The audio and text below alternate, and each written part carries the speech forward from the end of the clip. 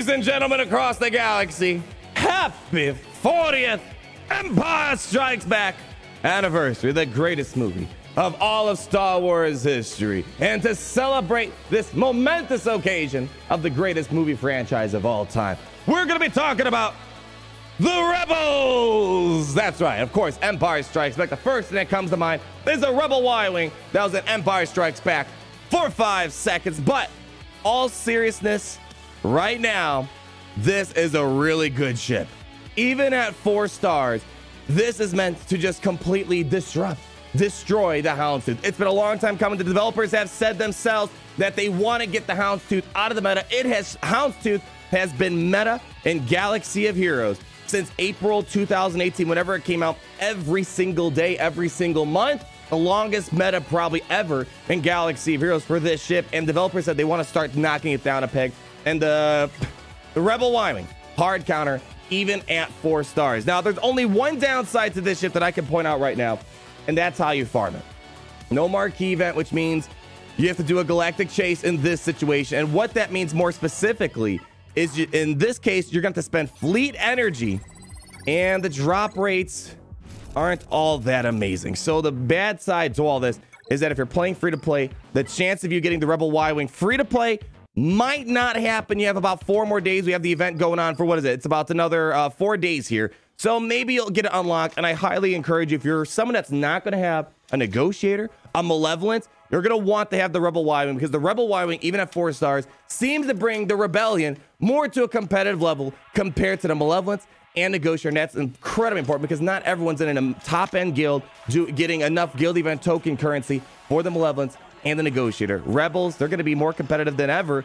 And it's kind of odd they're doing this because I think the Rebels are already already solid in the first place. But this is great because you don't need the Hound's Tooth anymore. And furthermore, even at four stars, you get basically all the important abilities to their maximum level. You don't need to worry about having this at seven stars. Sometimes you just ship at seven stars to gain the full benefits. Dispel all buffs on target enemy. Right here, max it all the way. It's going to have a chance to assist.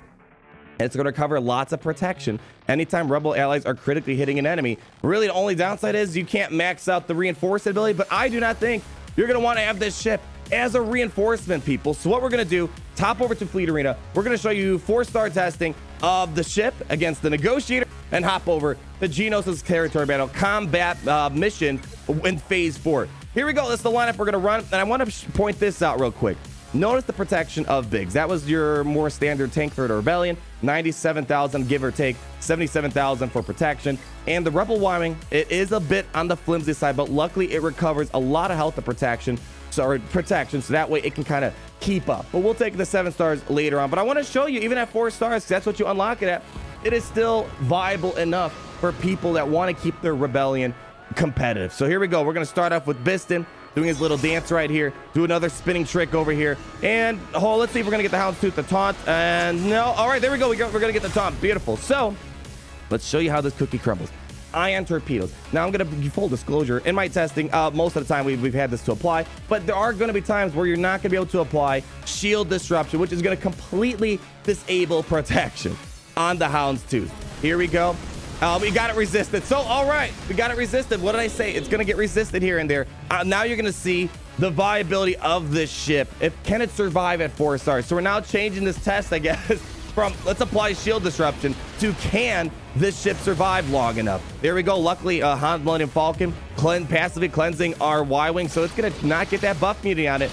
Four starship, look, it is keeping up. And luckily, we cleansed off the breach, so now we're pretty golden. There we go. Because of how our opening moveset works, the Hound's Tooth's kind of forced to apply the breach on the Y-Wing because Bistan Hines, you can't target Han's Millennium Falcon. Uh, just, so we're pretty golden here. Here we go. Let's see if we can try to do, um, let's just do a basic right here. There we go. Fantastic. It's still surviving. It's keeping up. What are they bringing in? They're bringing in their own Y-Wing. Oh, man. The artwork looks so much different ladies and gentlemen. so here we go. Let's call it our reinforcement.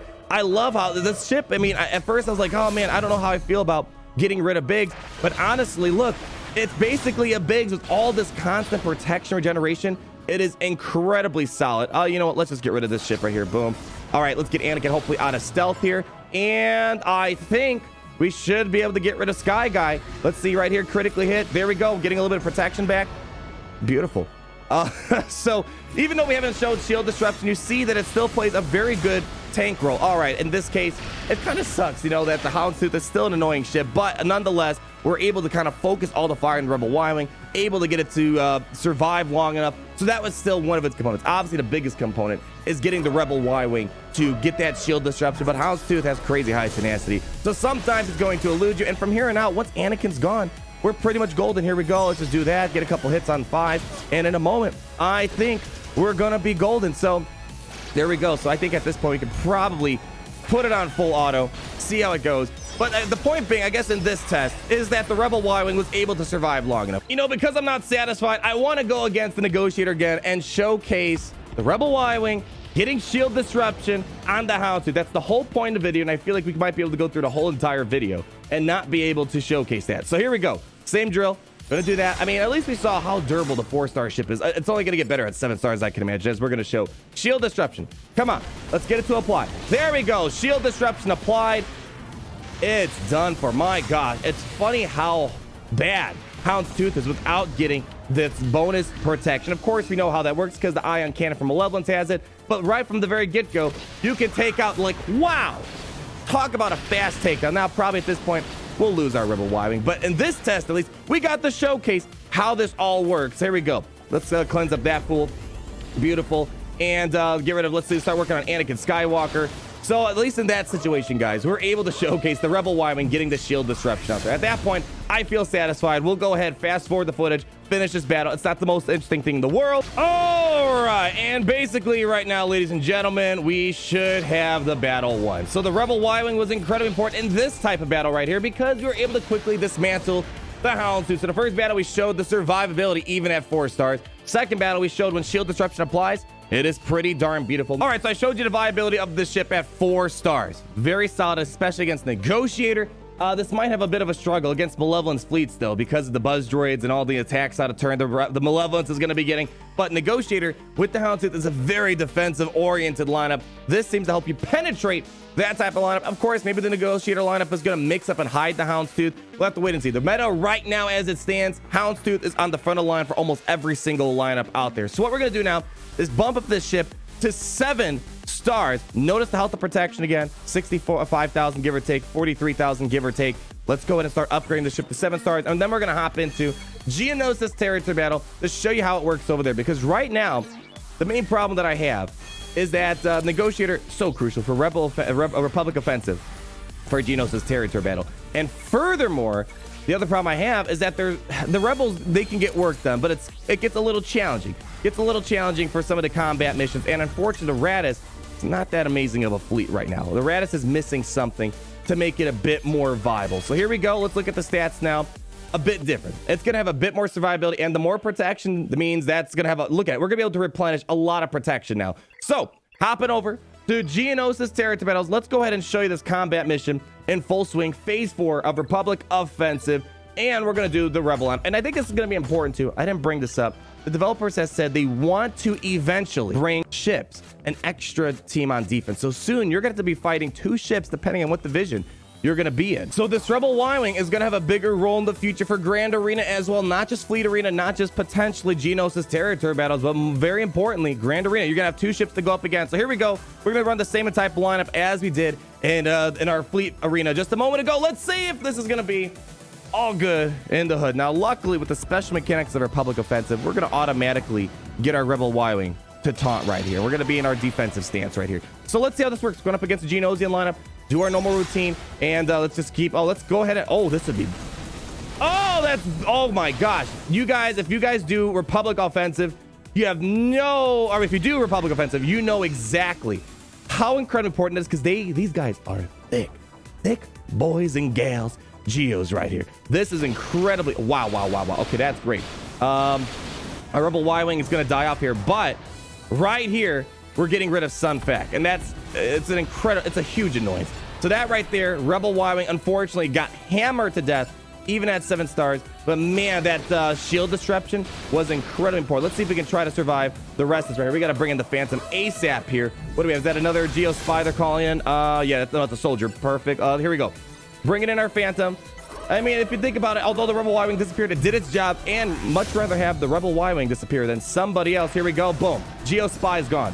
Fantastic. Let's go ahead and dispel that retribution over on this uh, Geo right here and keep going to town. So, so far, it's looking okay. They're hopping over, or they're doing defense. Okay, they're going into the defense position. They're not going to assault formation. Uh, here we go. Let's, now we're going to go into full offense mode here. Full offense. We're going to call in our Phantom now. Phantom coming in hot onto the field here. And let's see, we're going to go ahead, get this dude to assist. Let's see, which one? No one's a spy. They're both soldiers. Actually, let's get that offense up. Up here. Boom, boom, boom, boom, boom, boom, boom. All right, do a little dance. Spinning tricks always seem to work. Basic, almost there. Boom. Gone. I mean, at this point, we are not seeing the, the Rebel Y-Wing, but that Rebel Y-Wing was incredible. Wow, that was really easy. The Rebel Y-Wing was incredibly important for us to quickly punch through Sun Fac so then we can work our way over on the Geonosian spies and the Geonosian soldier. That was incredibly easy. That is the peak of the uh, rebel of the, the combat missions for Geonosis territory battles right there. And that's incredibly important because this special mission is going to require the negotiator. And over here, you're kind of left with the rebels without the Y-Wing, which is, it gets a little bit tricky without that shield disruption. It's, I'm not saying it's impossible. There's definitely a percent chance you could do it. But the rebel Y-Wing, shield disruption, punch through Sun Fac, work on the others. We now have that second fleet that's going to be super consistent for Geonosis Republic Offensive, the hardest PvE content we have in the game. So, ladies and gentlemen, that's going to wrap it up for today. Uh, quite impressed with the low star viability of this ship. I think it's going to be incredibly important, as I said, for people who are not going to have the Malevolence or Negotiator and you still want a competitive ship for Fleet Arena, Grand Arena, Republic Offensive. This Rebel Y-Wing is going to be important. Of course, you need a seven-star Rebel Y-Wing for Republic Offensive to really do much. The only downside is Galactic Chase. Not a big fan of those. Not really free-to-play friendly. And unfortunately, a lot of you guys might not be able to get the ship free-to-play at four stars. But if you can, definitely make it happen. All right, ladies and gentlemen, you know the drill. Like if you did enjoy the video. And look who we have. Welcome, Larry, to the Kyber Club. Ladies and gentlemen, we did a little unboxing from Imperial High Command over on Twitch. Thank you guys so much for coming out there. Subscribe so you're not missing a thing. And I'll see all you loving people in the next video. Let's hope we get some Empire Strikes Back stuff, huh, guys? How Larry and Gary? Let's get some more Empire Strikes Back, and let's get some Empire stuff, ladies and gentlemen. All right, guys. See you later. Roll the outro, boys.